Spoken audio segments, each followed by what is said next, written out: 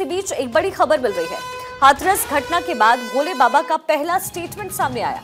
होनी को कौन टाल सकता है? भोले बाबा की तरफ़ से स्टेटमेंट है। जो आया है उसे जाना होगा। भोले बाबा की तरफ़ से कहा गया दो जुलाई की घटना से परेशान हूँ। सूरजपाल का ये स्टेटमेंट लोग बदनाम करने में लगे हुए हैं। हमें एसआईटी पर पूरा भरोसा है। कोई ना कोई साजिश हुई है।